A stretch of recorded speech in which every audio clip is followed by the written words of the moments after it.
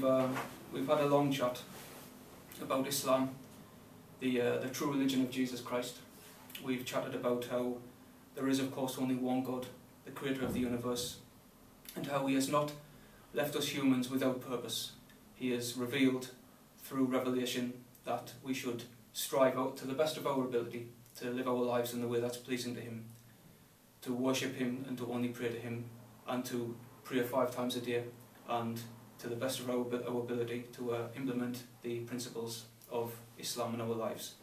And Michael, you have, in a world full of darkness, full of falsehood, uh, Almighty God has chosen you and shown you the light, and that's a great honour.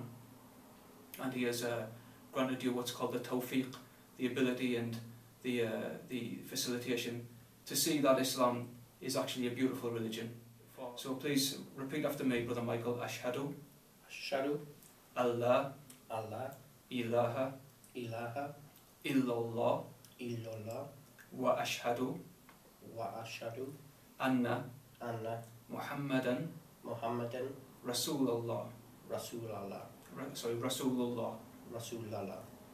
Um, so in, in English, uh, Michael, um, I bear witness I bear witness that there is only one true God that there is only one true God and that Muhammad and that Muhammad is his messenger. is his messenger.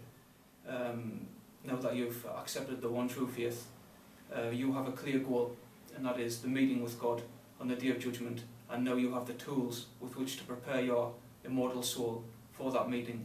And I ask Almighty God, Al Hayy Al Qayyum, the ever living, the sustainer and protector of all that exists, to give all of us firm iman, firm faith in Islam, and to give all of us good akhlaq, good manners, and to make all of us be successful on the day that wealth and children will not avail except for he who comes to Allah with a sound heart. Brother Michael, welcome, mashallah.